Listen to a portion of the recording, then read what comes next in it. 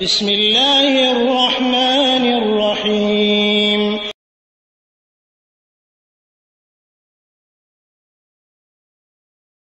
ওয়ালাইকুম আসসালাম রহমতুল্লাহ আবরকাত জনায়ত রহমান সাহেব আপনি জানতে চেয়েছেন হাসান নদী আল্লাহ তালাহ কিভাবে মৃত্যুবরণ করেছেন এবং কারণ সম্পর্কে আর আপনি বলেছেন একটা কারণ সে কারণটার যথার্থতা জানতে চেয়েছেন যে ওটা সঠিক না বেঠিক হাসান রদি আল্লাহ তালা আনহ, তিনি মৃত্যুবরণ করেছেন হোসাইনের আগে। এ মৃত্যু হয়েছিল তার বিষ পানের মাধ্যমে বলে ঐতিহাসিক তথ্য পাওয়া যায়। তবে বিষ পান কে করালো? এ মর্মে যথেষ্ট এখতলাফ রয়েছে। কেউ কেউ সন্দেহ করে বলেন যে এটা শিয়া মহল করিয়েছে, কারণ হাসান রাজুল আনহু খলিফা হওয়ার পরে মাত্র কয়েক মাস খেলাফত পরিচালনার পরে মহাবিয়া রদি আল্লাহ তাল আনহকে ডেকে এনে কুফাই ডেকে এনে, অর্থাৎ ইরাকে ডেকে এনে তার হাতে তিনি খেলাফত হস্তান্তর করে দেন এবং এর মাধ্যমে সমস্ত মুসলিমগণ এক খলিফার আন্ডারে পরিচিত হওয়ার সুযোগ পায়। এই সালটিকে বলা হয় আমল জামা আহ জামাতবদ্ধ থাকার সাল এবং এর মাধ্যমে রাসুল্লাহ সাল্লাহ আলী সাল্লামের একটা ভবিষ্যৎবাণীও প্রতিপালিত হয়। ভবিষ্যৎবাণীটি ছিল রাসুল্লাহ সাল্লাম একদা হাসান আদুল্লাহ আনহ যখন ছোট ছিলেন, বাচ্চা ছিলেন, তখন তাকে তাকে খেতাব করে বলেছিলেন, তার সম্পর্কে বলেছিলেন যে ইন্নাহাদা ইবনি সৈয়দুন নিশ্চয় আমার এ সন্তানটি একটা সর্দার বা নেতা।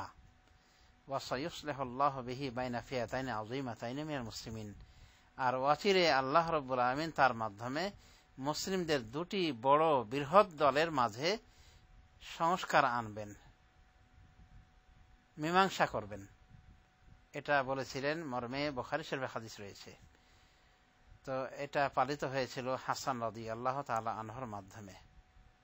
তো উনি মোয়াবিয়াকে খেলাফত দিয়ে দিয়েছিলেন এবং এভাবে মুসলিমগণ ঐক্যবদ্ধ থাকার সুযোগ পেয়েছিলেন এক খলিফার আন্ডারে।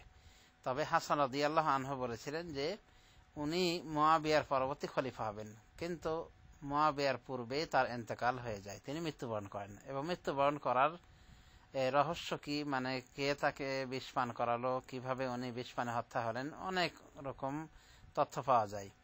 কিছু ঐতিহাসিক তথ্যে বলা হয় যে শিয়ারা এটা করেছিল, কারণ শিয়ারা এটা সহ্য করতে পারেনি যে হাসান আনহ মহাবেকে খেলাফত দিয়েছেন।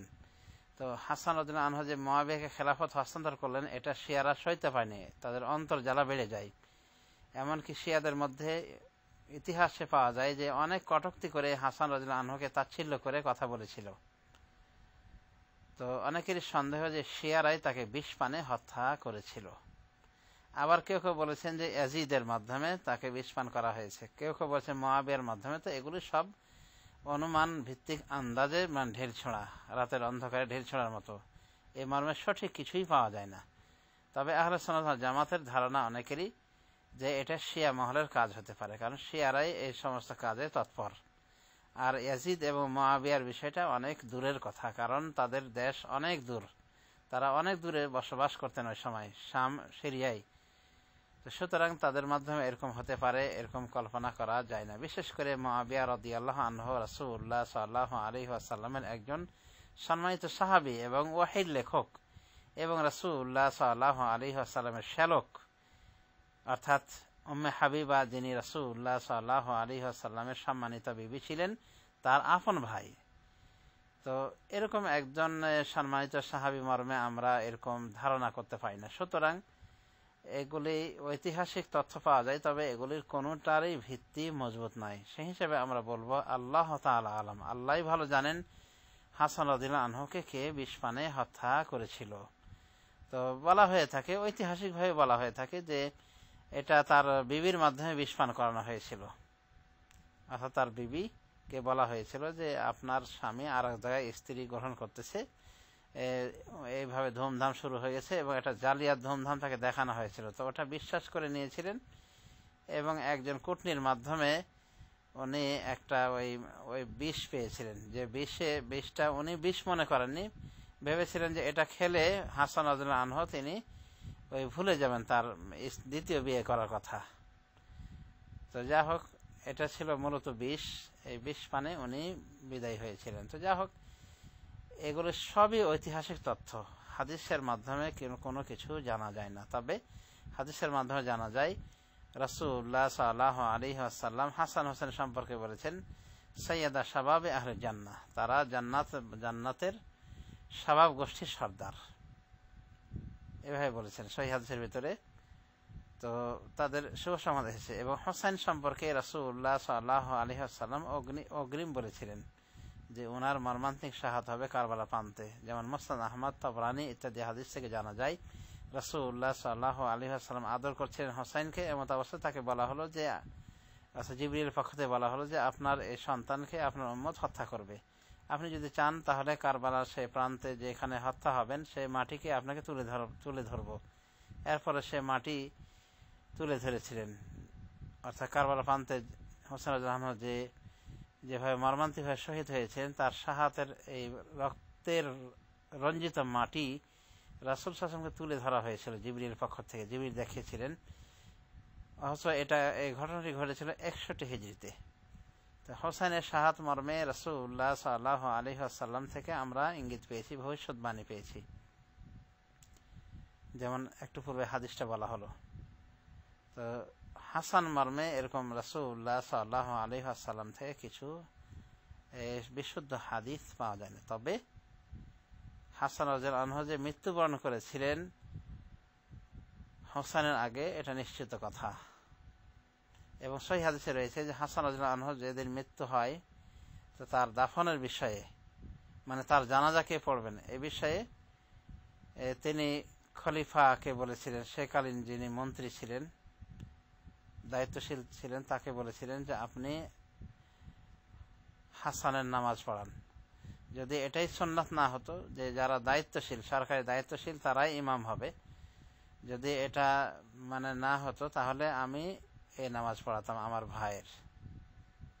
এতটুকু সহি হাদিস দ্বারা প্রমাণিত।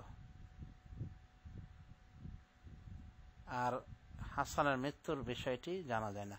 আরেকটি বিষয়, তার মৃত্যুর বিষয়ে যে ফাতেমা রাজন আনহার বদুয়া বলা হলো যে বদুয়া দিয়েছেন যে, তুমি যেন জহরে কহরে মৃত্যুবরণ করো। এবং এই বদুয়ার কারণ যে, ওনাকে নাকি নামাজ পড়া অবস্থায় হাসান রাজন আনহা দেখেছিলেন। তো এই কারণে উনি বদুয়া দিয়েছিলেন মিন জালেক এটা তো মনে হয় জাল ইতিহাসও পাওয়া মুশকিল।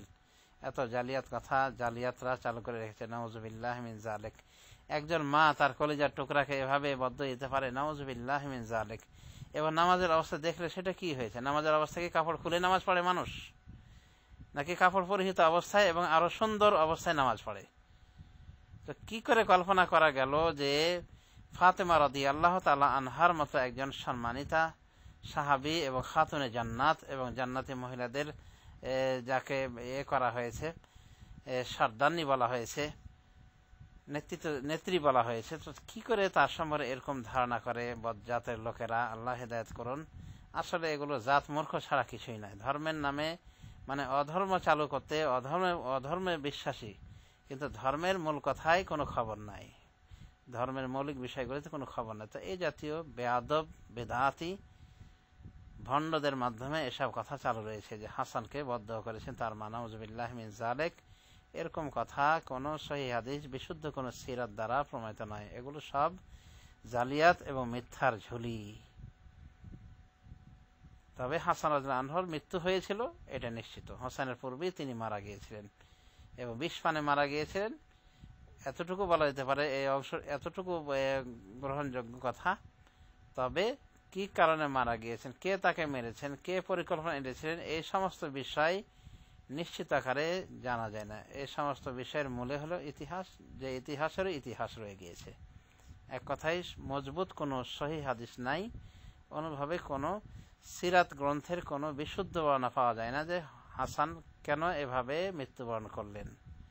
সুতরাং আল্লাহ তালা আলাম কে তার পিছনে এই সমস্ত ইন্ধন জগিয়েছিল, তার এই অপমৃত্যুর। তবে তিনি মৃত্যুবরণ করেছেন, এটা ঠিক।